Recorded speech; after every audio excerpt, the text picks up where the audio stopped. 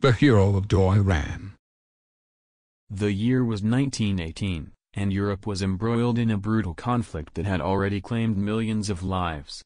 Bulgaria, one of the Central Powers, had been fighting alongside Germany and Austria-Hungary since 1915.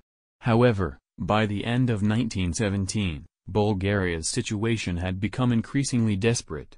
The army was exhausted, and the civilian population was suffering from hunger and disease. It was at this time that a young officer named Vladimir Vazov was given an important mission. He was to lead a detachment of Bulgarian soldiers in an attack on the British forces at Doiran Lake, in present-day Greece. The objective was to prevent the Allies from advancing further into Bulgaria and to buy time for the Bulgarian army to regroup. Vladimir Vazov was born on May 14, 1868.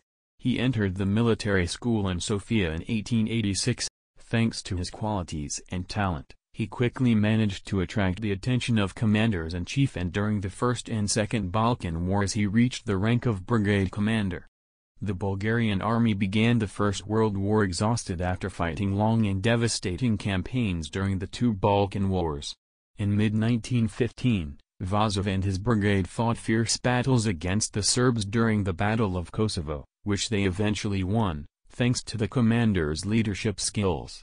On 28 November he was seriously wounded in battle and had to withdraw for several months to be healed. At that time he was promoted to colonel.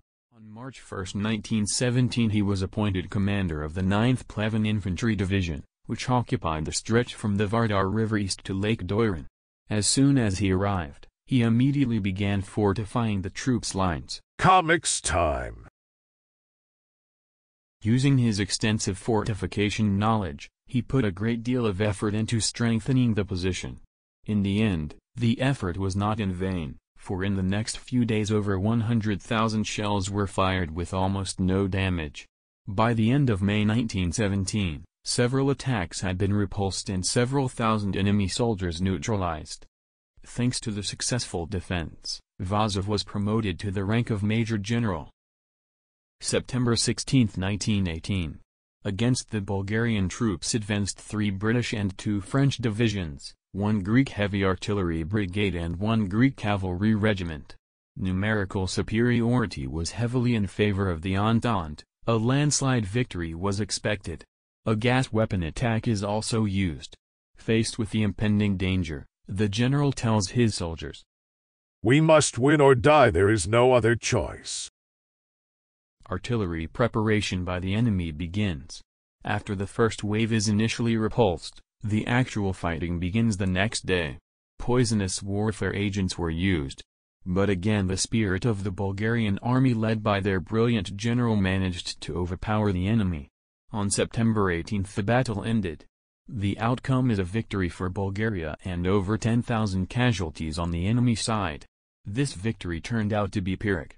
At the same time a battle was fought at Dobropol, where the Bulgarian army suffered a devastating defeat, which eventually led to the Treaty of Thessaloniki and Bulgaria's exit from the war. After the signing of the peace treaty of Neuilly-sur-Seine, the outcome was disastrous for Bulgaria, losing important territories and having to pay huge reparations. However, the British paid great honor to General Vladimir Vazov when in 1936 he was invited to a Congress of the British Legion. The chairman of the British Legion Major Goldie said in his speech, He is one of the few foreign officers whose name features in our history. Vazov is welcomed in London by a British regiment with flags. As he passes by, British General Hamilton says, Take down your flags. General Vazov, the victor of Doiran, is passing.